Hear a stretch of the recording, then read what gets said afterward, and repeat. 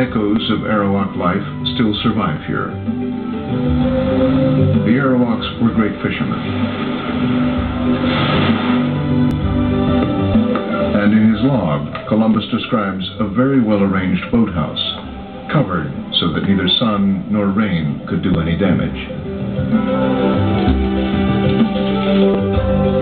Today, Cubans here build similar structures in much the same way.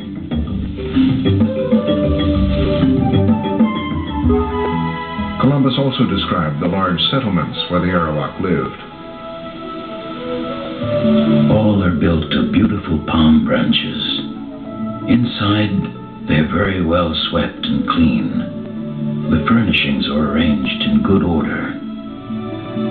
They are constructed like pavilions, very large, and look like royal tents in a campsite without streets.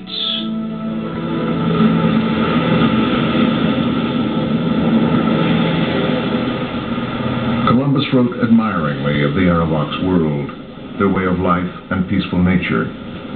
But he also wrote that, with a few Spaniards, he could subdue the entire population. This is the site of an Arawak village outside Baracoa. Today it's protected land.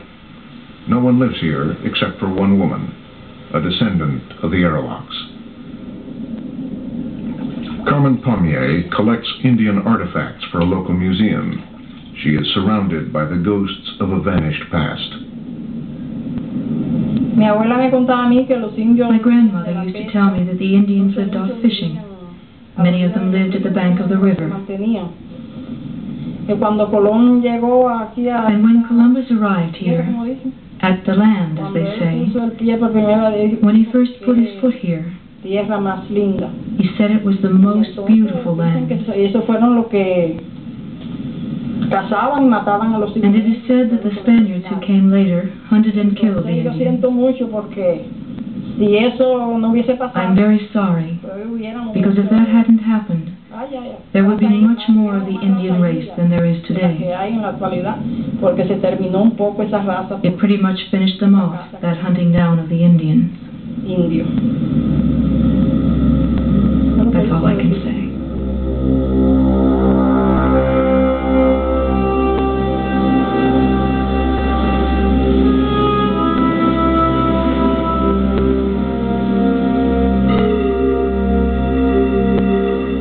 In the years of colonization that followed Columbus's first voyage, the Arawaks were forced to provide food, tribute, and labor to the Spanish.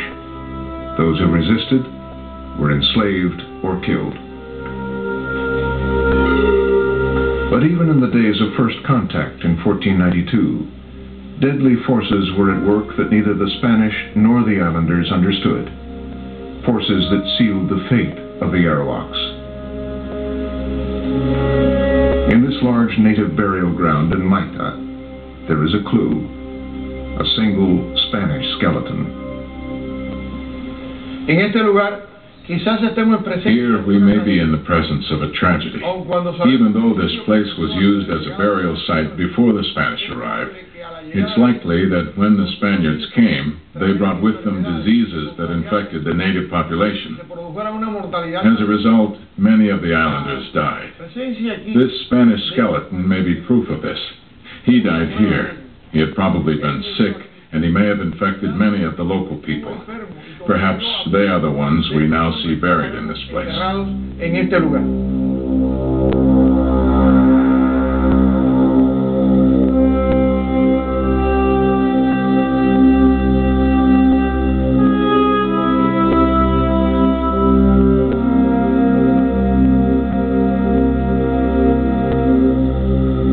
The Arawaks had no immunity to European diseases. Already weakened by the trauma of invasion and exploitation, they were highly vulnerable to infection. Within only 50 years of Columbus's arrival, the Arawak population was virtually destroyed.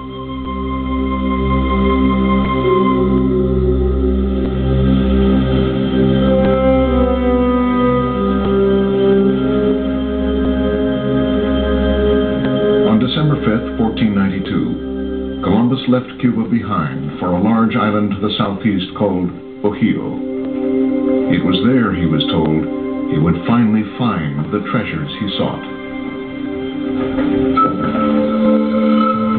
Columbus needed to find something soon. All he had seen so far was a group of beautiful islands with a small population of poor natives. How could he deliver on his promises to the Spanish sovereigns without anything of tangible value?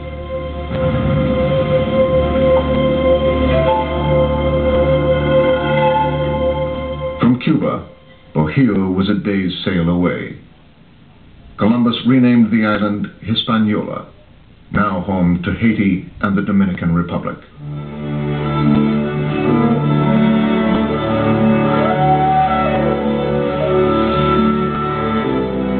The island of Hispaniola is the beautiful thing I have ever seen.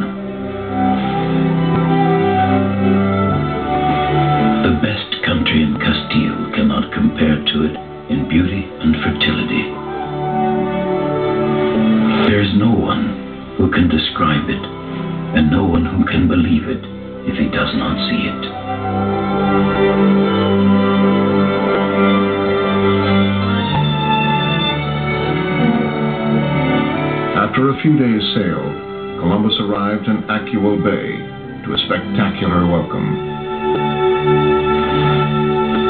More than a hundred canoes came out to the ships. Thousand Indians went through them, Columbus says. And first of all, he noticed the women. The women were very beautiful. They went totally naked except for their ornaments. They didn't even wear the cotton loincloth which had been seen elsewhere. They were uninhibited, and Columbus said their husbands were not jealous. A lot of them went by, and as these Indians turned up, it was visible that they had a hierarchy, that they were chiefs and counselors. And among these chiefs, the greatest was Guacanagari, who was to become Columbus's ally in these parts. Guacanagari was a powerful man, one of five chiefs who ruled Hispaniola. The island was the most populous Columbus had seen, with perhaps a quarter of a million people. But more importantly, it was also richer than any of the others.